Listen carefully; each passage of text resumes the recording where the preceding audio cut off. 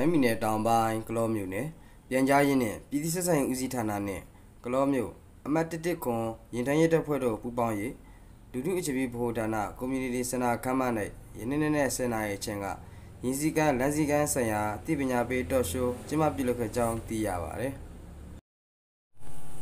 မင်္ဂလာပါရှင်ကလောမျိုးနယ်ပြန်ကြားရေးနှင့်ပြည်သူ့ဆက်ဆံရေးဦးစီးဌာနသည်အများပြည်သူဘုဟုတ္တရရှိစေရန်အတွက်အသိပညာပေးလုပ်ငန်းများကို အွန်လိုင်းမှာတစ်ဆင့်တင်ဆက်ပေးရရှိရာယနေ့မှာဆိုရင်ဖြင့်ပြည်သူများမော်တော်ယာဉ်မော်တော်ဆိုင်ကယ်မောင်းနေရာတွင်လိုက်နာရမည့်သတ်မှတ်စည်းကမ်းချက်များနဲ့အညီမောင်းနေစီရင်မိမိတို့၏အသက်အန္တရာယ်ပြည့်ရှင်းရေးအတွက်ရည်စည်းကမ်းလမ်းစည်းကမ်းများကိုလိုက်နာကြစီရန်ရည်ရွယ်ပြီးအမှတ်130ခုရေသိမ်းရဲတပ်ဖွဲ့စုကလောတပ်ဖွဲ့စိတ်နဲ့ပူးပေါင်း၍အသိပညာပေးတော်ရှိုးလေးကိုအခုလိုပဲထုတ်လင့်ပေးတော့မှာဖြစ်ပါတယ်ရှင်ဟို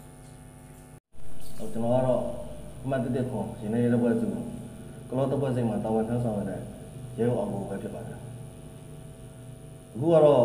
စရင်းမျိုးတော့ကျွန်တော်ကလောမျိုးမှာရင်စည်းကမ်းလမ်းစည်းကမ်းအသိပညာပေးဟောပြောပွဲလေးကိုစတင်ဟောပြောပေးမှာဖြစ်ပါတယ်ကျွန်တော်ပြောချင်တာကတော့ပထမဆုံးအနေနဲ့ဒီကကလောမျိုးနေလူတွေအောင်ပန်းဟဲဖို့ဒီကရှမ်းပြည်နယ်မှာရှိတဲ့ဒီလူလူတွေအကုန်လုံးရင်စည်းကမ်းလမ်းစည်းကမ်းလိုက်နာပေးဖို့အဓိကပြောချင်ပါတယ် ကျွန်တော်တို့ဆိုလို့ရှိရင်ဆိုင်ကယ်မောင်းနေတယ်ဆိုလို့ရှိရင်ဆိုင်ကယ်အုပ်ထုပ်ဆောင်ဖို့မိတန်းကျိုးတွေတက်ဖို့ဆိုင်ကယ်မိတန်းကျိုးတွေတက်ဖို့ပြီးရင်ဆိုင်ကယ်မှာဗတ်မှန်တွေတက်ဖို့ပြီးနှစ်ယောက်စီးရင်လည်းနောက်ထိုင်တဲ့လူကဆိုင်ကယ်အုပ်ထုပ်လေးစောင်းပေးဖို့အဓိကပြောချင်ပါတယ်အခုလိုပြောကြတာကလည်းဆိုင်ကယ်တိမ်းမောက်မှုတွေဖြစ်တာပဲဖြစ်ဖြစ်ရှင်တိမ်းမောက်မှုတွေဖြစ်တာပဲဖြစ်ဆိုင်ကယ်တိုက်မှုတွေဖြစ်တာပဲဖြစ်ဖြစ်ပေါ့ဥကောင်းတွေထိခိုက်ဖို့ ဥဒ္ဓမဆောင်ဆိုလို့ရှိရင်တော့ကျွန်တော်ခေါင်းလို့ဘာလို့အဓိကထိခိုက်နိုင်ပါလဲကျန်တဲ့ဘာတွေကတော့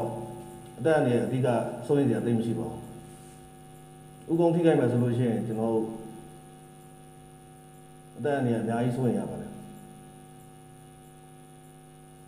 ဆိုင်ငယ်မောင်းနေမယ်ဆိုလို့ရှိရင်လည်းအချိန်ပြင်းပြင်းမမောင်းနေဖို့ပြီးလမ်းကွေတွေလမ်းဖြတ်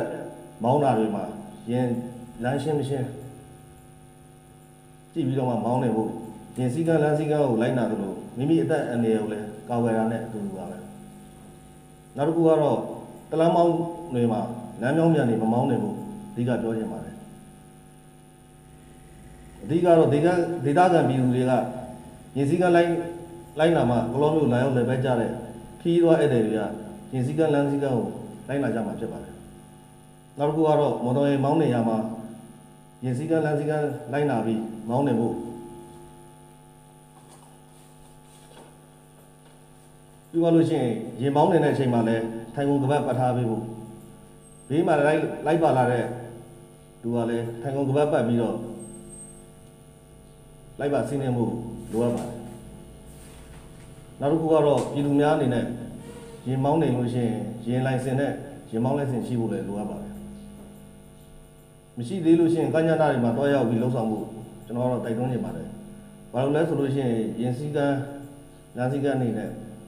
ရင်သိမ်းမမှုဖြစ်တာပဲဖြစ်ရင်တိုက်ခိုက်မှုဖြစ်တာပဲဖြစ်ဖြစ်